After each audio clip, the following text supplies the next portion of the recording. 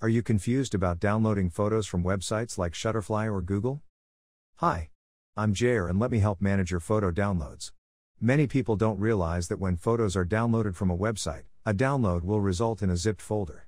Zipped folders have to be extracted to view and used your downloaded photos. Here we are using Shutterfly as an example. You'll want to be sure to be in the All Photos view. This allows you to systematically download your photos in batches by year and ensures you download all your photos. Sometimes photos uploaded to Shutterfly are never put in an album. So be sure to work with individual photos. Not the albums in Shutterfly. OK, to easily select the photos. Click on the checkbox beside the month name. To select all photos within that month. If you like, you can view the selected items at the top bar. By clicking on View Selected.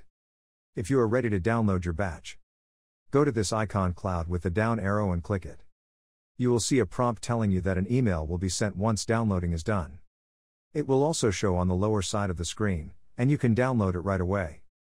Once you have downloaded the photos either from the Shutterfly website message or your email, you can view them in the Downloads folder. The downloaded photos will be in a zipped folder unless you only downloaded one photo. If you have thousands of photos to download, the process can be frustratingly slow. Shutterfly allows a maximum of 500 photos per download and you will be downloading multiple folders one at a time. One word of warning you can see the mess here. You have multiple folders and zipped folders named Archive1, so it's best to work on one folder at a time. To help your downloads folder organized, starting with one zip folder, we need to extract the photos. We can do that by right clicking on it, on it, and then extract all. Once the extracted folder is complete, delete the source zip folder. Next, we want to rename this folder, so we know what is in it. You can check the photo information in the unzipped folder. Go inside the folder. Click on the View tab, then select Details. Right click on the little rows and check the date taken as we can see here. Now we have the information and can rename the folder correctly by year and month. Don't forget to add the download source for reference. Before moving on to the next batch of downloads.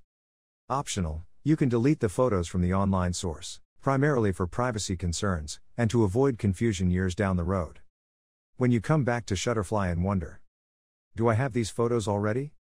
I hope this helped you manage your downloaded photos. And get the memories saved to your computer. Subscribe for more informative videos.